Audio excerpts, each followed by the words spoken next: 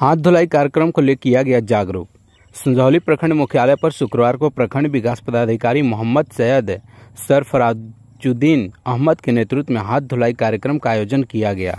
इस दौरान वीडियो ने लोगों को हाथ धोने का तरीका बताकर स्वच्छता के प्रति जागरूक किया।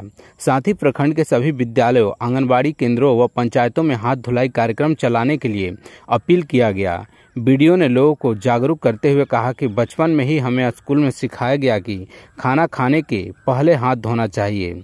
इसके अलावा भी सफ़ाई से जुड़ी कई अच्छी बातें हमें बचपन से सिखाई गई, लेकिन दुनिया भर में कई लोग आज भी इनके प्रति जागरूक नहीं हैं।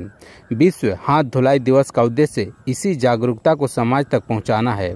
मौके पर अंचलाधिकारी सुजाता राज, प्रखंड समन्वयक किरण कुमारी, लिपिक राज जी पर्यवेक्षिका ज्योति कुमारी, रीमा कुमारी अंचल कर्मी अमरेश कुमार, दीपक कुमार, पंचायत सचिव श्याम बिहारी सहित प्रखंड व अंचल के सभी कर्मी मौजूद रहे।